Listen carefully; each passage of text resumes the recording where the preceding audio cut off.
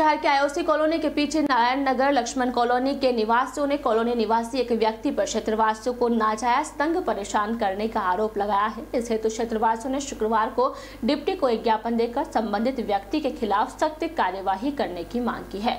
Deputy Manish Chaudhary के नाम दिए गए ज्ञापन में क्षेत्रवासियों ने बताया कि कॉलोनी की महिलाएँ पास ही में बने मंदिर में पूजा अर्चना तथा भजन भाव के लिए आती जाती है। इस दौरान यहाँ का निवासी मोहनलाल गोटवाल महिलाओं के साथ अभद्र व्यवहार करता है तथा आए दिन लड़ाई झगड़ा करता रहता है। साथ ही विरोध करने पर एस सी में मामला दर्ज करवाने की धमकी देता है।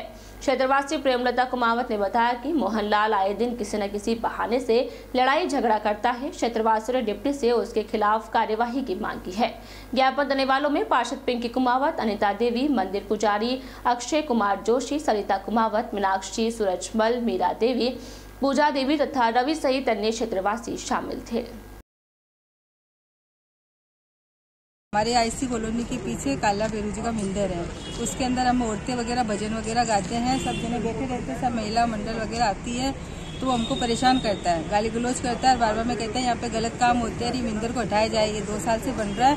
तो ये बल्कि हो गया मंदिर को दस साल हो गए, लेकिन वो बोल रहा है कि दो साल ही हुए इसको मंदिर को हटाओ, ये गैर कानूनी बना हुआ है। ये उसकी परेशानी और हमको परेशान करता है, सब महिलाएँ उनसे परेशान है। और इधर हमारी नाली है जो उसका पानी जहाँ से बह रहा है, उसको परेशानी, मकान उसका उधर है, लेकिन परेशान करने के लिए मैं लेडीज़ अकेली रहती हूँ, उनको बार बार में परेशान करता हूँ।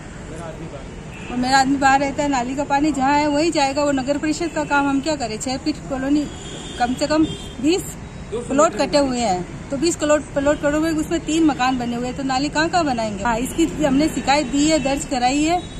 मिंदर की इन दोनों की शिकायत दर्ज। वो हमको परेशान करता है बार बार मैं पुलिस वाले को रिपोर्ट ले लेके हमको घर पे भेज देता है। मैं लेडीज़ अकेली रहती हूँ परेशान हो गई हूँ और रात को ग्यारह बजे आके टॉर्च से इधर उधर करता हमको परेशान करता दो बच्चे मेरे साथ में रहते डर जाते हम रात को।